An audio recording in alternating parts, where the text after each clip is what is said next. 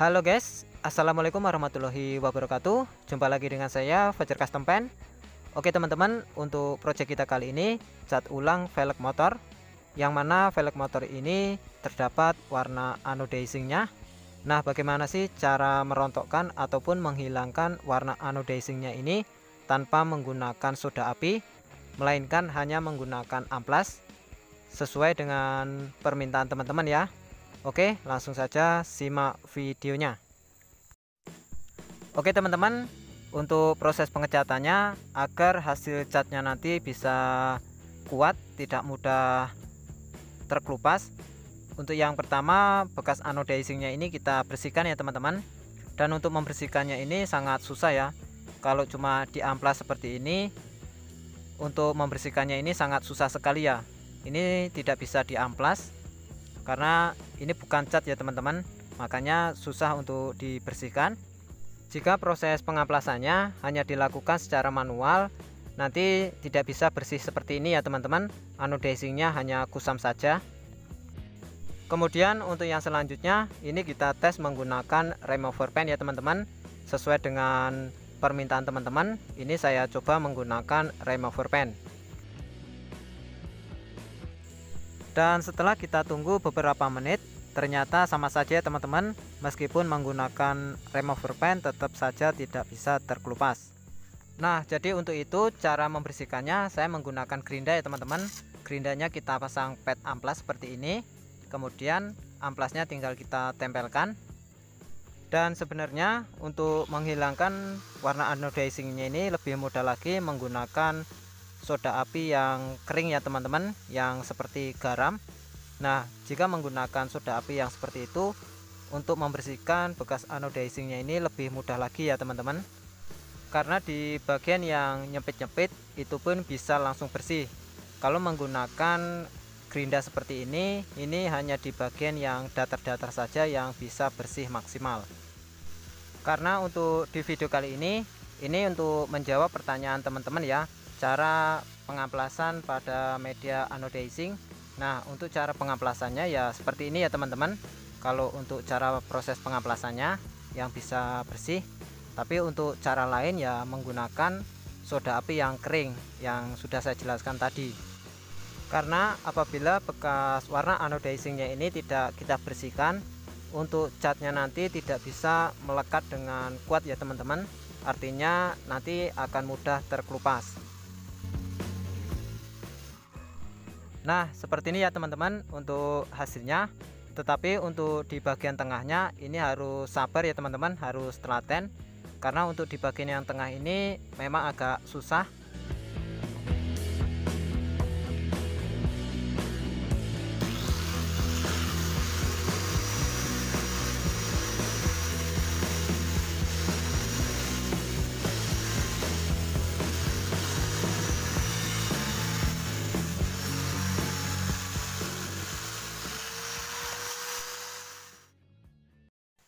Jika sudah selesai proses pengamplasannya, kemudian untuk langkah yang selanjutnya yaitu proses cat dasar ataupun cat epoksi. Dan untuk cat epoksinya saya menggunakan cat epoksi dari Spider yang warna putih.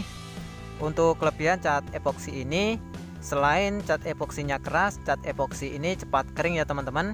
Satu jam saja sudah bisa kita amplas.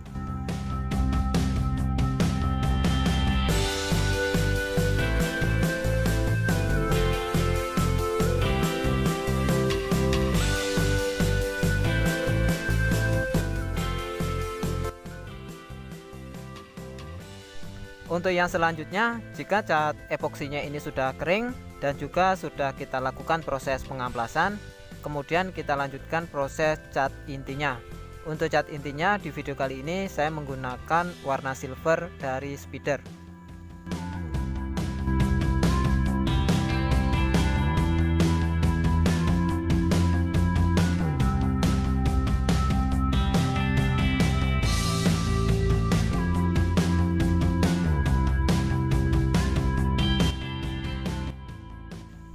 Jika proses pengecatan warna intinya ini sudah selesai, kemudian kita diamkan terlebih dahulu ya teman-teman hingga cat silvernya ini kering. setelah itu kemudian kita lanjutkan proses finishing ataupun proses pengekliran. Untuk proses pengeklirannya saya menggunakan clear dove dari laba-laba. Dan untuk perbandingannya clear 4 hardener 1 dan untuk tinernya 3